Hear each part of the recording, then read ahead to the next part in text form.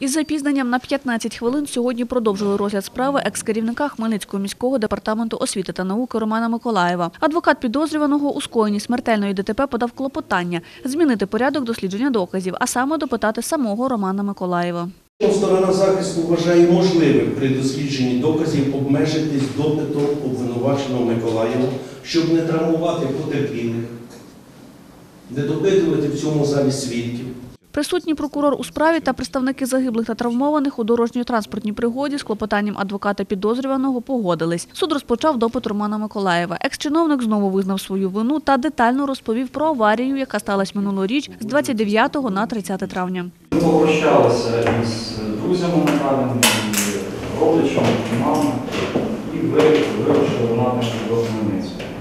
За Дедотрецьким перехрестям справа, я помітив, гіляка лежала, я виїхав приблизно трошки на середину траси, щоб обминути цю е, перешкоду. Я не зміг вчасно виявити власне, транспортний засіб, який знаходився в правій крайній стороні автодороги і відбулося зіткнення. Деталей зіткнення я не можу пригадати, оскільки не пам'ятаю всього. Не заперечує Роман Миколаїв і те, що за кермом перебував у стані алкогольного сп'яніння. У його крові виявили 0,61 проміли алкоголю при допустимих 0,2. На е, ми сіли за стіл, і е, бокал шампанського був не наповнений протягом цього перебування. Це можливо сталося близько 17-18 години.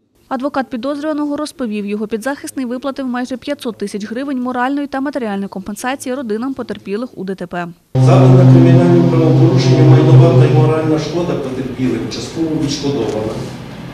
В даний час я можу оголосити суму, це біля е, 500 тисяч гривень, якщо конкретніше, ваша честь, то це я в іншому клопотанні подав докази. Е, Ця сума становить на даний час 489 тисяч, майже півмільйона. Добровільно відшкодовано.